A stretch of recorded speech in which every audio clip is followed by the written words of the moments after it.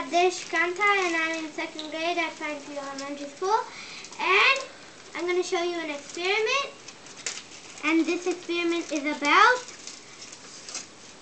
experiment is about how to light up a light bulb. And the first material I'm going to use for my experiment is aluminum foil.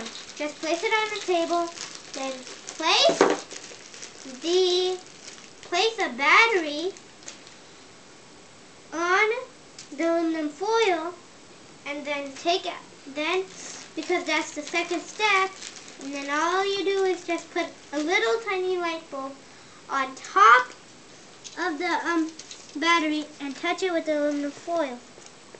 And as you see the light bulb's lighting up. But if you don't put it properly it won't light up. As you see it's not lighting up.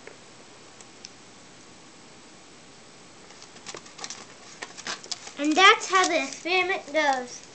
Thank you.